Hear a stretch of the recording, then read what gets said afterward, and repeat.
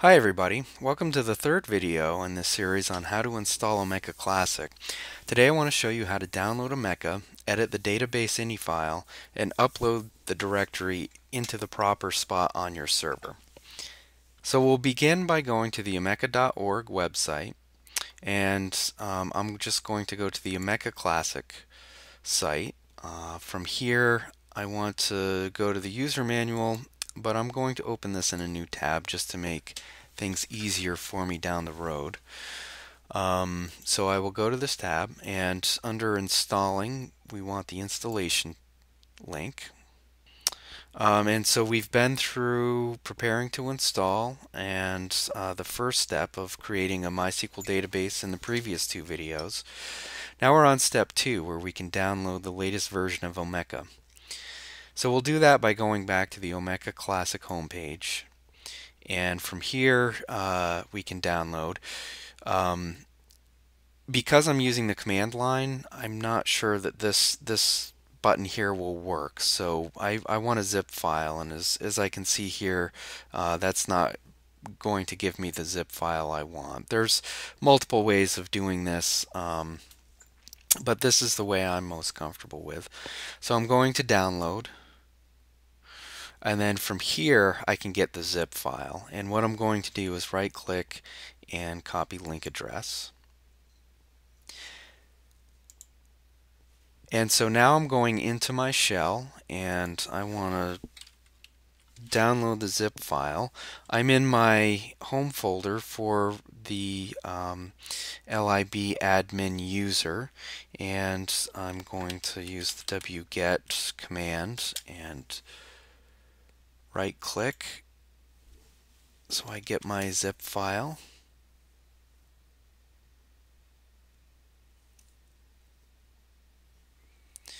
Okay, so now um, I can unzip my file. If you don't have um, unzip installed on your computer, uh, you'll need to run this command first, sudo apt get install unzip I think I already have it, and I do. Um, so just run that command if you don't have unzip installed. Um, now I'm going to list the contents of this directory and you see I have my zip file here. So I'm just going to unzip that uh, with unzip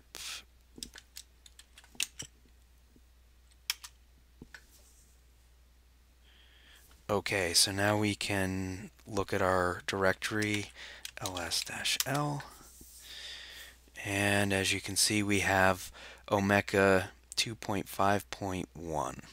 Now what I want to do is look in the in the directory itself to see um, to see the files that are in there.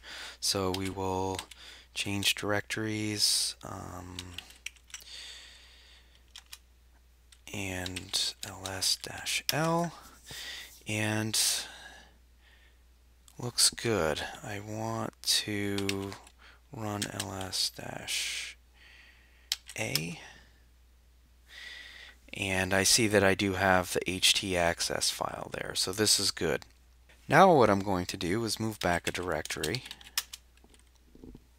and at this point I want to move um, all of the, the contents within the um, Omeka directory into my uh, web directory. So I'm going to do that by running um, sudo mv dash v um, omeka slash an asterisk to my var www dot, uh, slash html directory. Okay. So it looks like we have successfully done that. Let's go to the directory itself. And we will list everything there. Very good.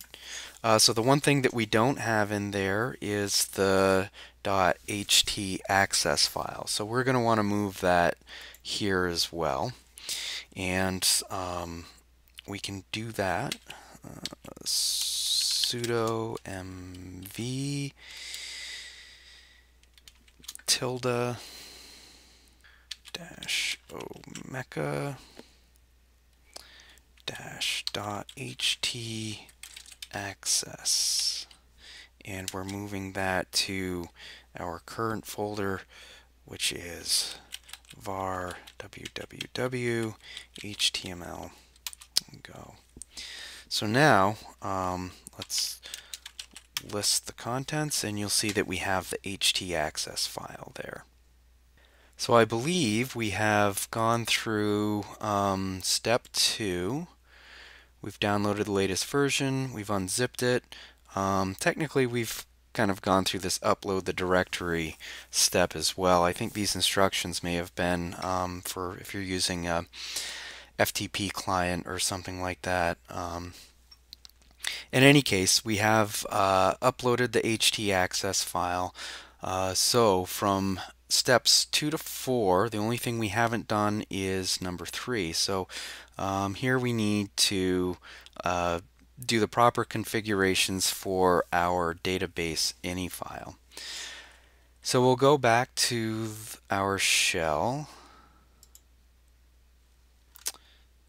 And what we want to do is uh, sudo nano or whichever text editor you use, uh, sudo nano db uh, ini.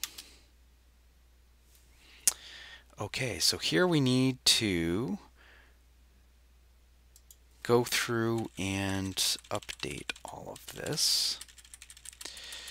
And our host is going to be localhost unless um, your MySQL server is, is on a server other than this one our username, and this all uh, kind of goes back to the MySQL database we set up. We want to use all of those same parameters.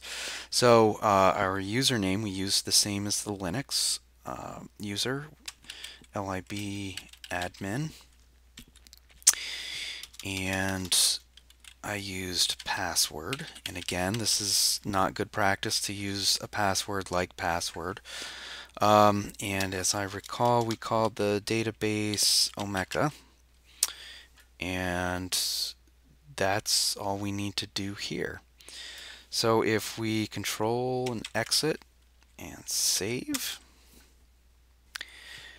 and now I'm just going to uh, restart Apache just for good measure. Uh, sudo uh, service Apache Apache 2 uh, restart.